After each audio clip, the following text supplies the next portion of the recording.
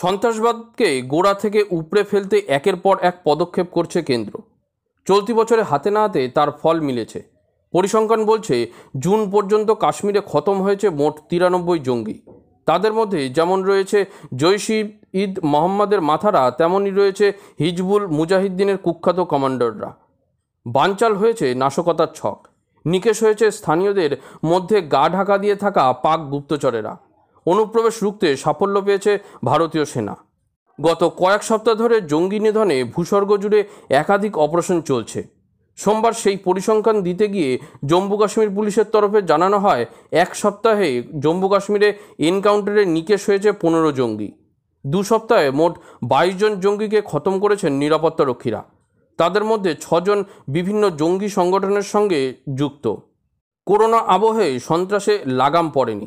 বরং লকডাউনের মাঝেও বরাবর উত্তপ্ত হয়েছে ভূস্বর্গের বিভিন্ন এলাকা।